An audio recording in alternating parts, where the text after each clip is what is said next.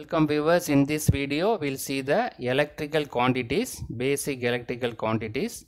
First we'll see the charge. The charge is nothing but a physical property of the matter that cause it to produce a force when an electromagnetic field is applied. Right, so it is a property. Charge is nothing but a property of the matter.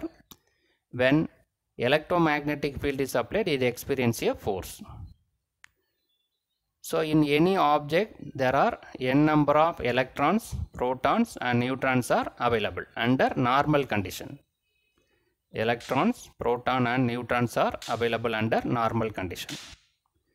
Electron is a you know that positively charged, negative charge. Proton is a positive charge and neutral is neutral. There is no positive or negative. So under normal condition there is no the movement of electrons if any external force is applied then the atom will move from one place to another place. So while applying the external force what will happen? The electrons are moving from one place to another place. Due to this movement if number of electrons are less than the number of protons then it is known as positive charge. The number of electrons are less protons are more. You know that proton is positively charged so the entire object is termed as positive charge. If number of electrons are less than the number of protons, then it is known as positive charge. Suppose if number of electrons are more than the number of protons, then it is known as negative charge. So if electrons are more, automatically it is a negative charge. So charge is purely based on number of electrons and proton. Under normal condition, there is no movement of atom. While applying any external force, the atoms are moving. Under that condition, if electrons are more than proton, then it is negatively charged body. If electrons are less than the number of protons, then it is called a positively charged body. So we are dealing with a charge that is purely depends upon number of electrons and protons in any object. Right. So while applying external force what will happen? The electrons are moving from one place to another place. So this movement and the number of electron and what is the energy what is the power everything coming based on the movement of the atom right? So that movement of atom is nothing but current. How many atoms are moving?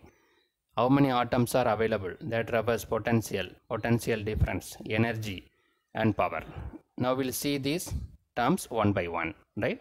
So all other terms is purely based on the movement of the electron while applying external force. So next we'll see the electric current. So we already discussed if any external force is applied the electrons are moving. Atoms are moving from one place to another place. So the flow of free electron so this electric current the symbol is i the flow of free electron in a conductor is called a electric current right? So the current is flowing. We are saying current is flowing. Current is flowing means the flow of free electron in a conductor. So it is defined as rate of change of charge dq divided by dt. How much the charges are moving? dq divided by dt right? So the flow of free electron in a conductor is called a electric current it is defined as rate of change of charge. The symbol is i. I equal to dq by dt. The unit is ampere. Right. So while applying external force the free electrons are moving. That is nothing but a electric current. And how many electrons are moving? That we'll see the next. That is called electric potential or potential or voltage what is that? The ability of the charged body to do the work. The how much how the electrons are moving how many electrons are moving. That is a potential. That is the ability of the charged body to the work either 10 electron or 100 electrons. We are saying have the, I have the potential to do this work. I, I am able to take 5 books. I am able to take 10 books. That is our potential. Similarly here potential refers the charged body to do the work that is nothing but work done by charge work done by charge is nothing but a voltage.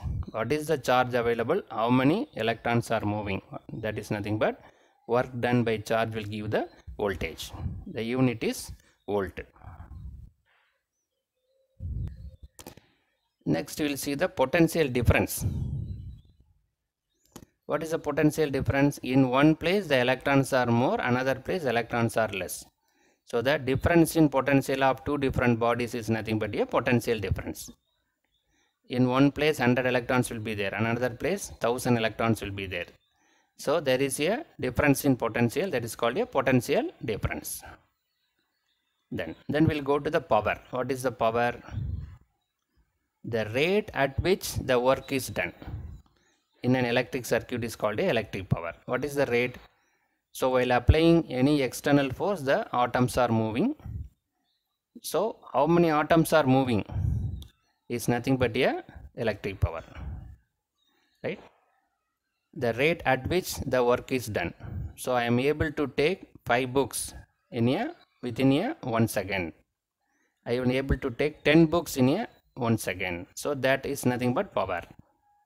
So here the rate at which the how many electrons are moving is a potential. How many electrons moving in a given time within a time the rate that is nothing but a power right.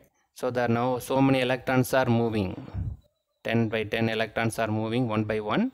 That's called a potent that's a power. The rate at which the work is done. So the general formula is voltage into current. The unit is watts right? So next we'll see the energy. What is energy? So it is nothing but capacity of the charged body to do the work at a given time. So i am able to take 10 book or 20 book at what time? Either one one seconds or one minute or one hour. That refers the energy. Energy always refers voltage into current. That is power into time what is the power consumed in a given time? That refers the energy right? So the electrons are moving. The ability to move the electron is nothing but potential. I am able to move this book. The rate at which how many books are moving? That is the power. How many books are you are moving for a given time is the energy right? So the electrons are moving is a potential the electrons are moving at a given rate. That is the power. The electrons are moving given rate for a given time is the energy. Right? so the unit is joule. Next we'll see the charges. What is the general term for the charge? So 1 coulomb of charge equal to 1 coulomb of charge equal to 1 divided by 1.602 into 10 to the power minus 19 this universally it is a constant. The 1 coulomb of charge is this value. So 1 divided by so it is nothing but 6.24 into 10 to the power 18 electron. 6.24 into 10 to the power 18 electron. That is 1 coulomb of charge. Suppose a single electron have a charge.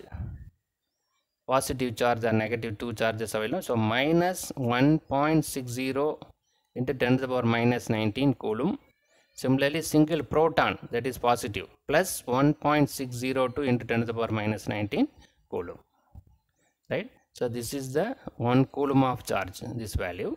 This is one single electron having the charge and one single proton having the charge right? This is negative and this one will be positive. We'll see some more quantities with symbol and unit now we'll see this the quantity symbol unit and formula for the further electrical quantities. First we'll see the charge. The charge symbol is q. The unit is coulomb. It is written as c. That is nothing but current into time. The formula is current into time right? The charge it is termed as q. The coulomb the unit is coulomb. It also written as c the formula is i into t. Then next one is the current. The symbol is i. The unit is ampere. It is written as a. That is the formula is q divided by t charge divided by time. Third one voltage. The symbol is v. The unit is volt. It is can be written as v. What is voltage? W by q. Work done by charge. W by q then energy. The symbol is w. The unit is joule. We can write it as j. Power into time. The energy always refers what is the power at a given time. P into t. Then what is the power? Power equal p. The unit is watts w. W by t. The power is nothing but w by t the next one resistance. R. The unit is ohm. The symbol is ohm. V by i. The formula is v by i. The capacitance. The symbol is c. Farad f. Q by v. The formula is q by v. Next inductance. L. The unit is henry q by i then frequency the symbol is f unit is hertz 1 by t. Then impedance z the symbol is z ohm v by i. Then admittance symbol is x ohm v by i. So these are all the some electrical quantities we referred with the symbol unit and formula.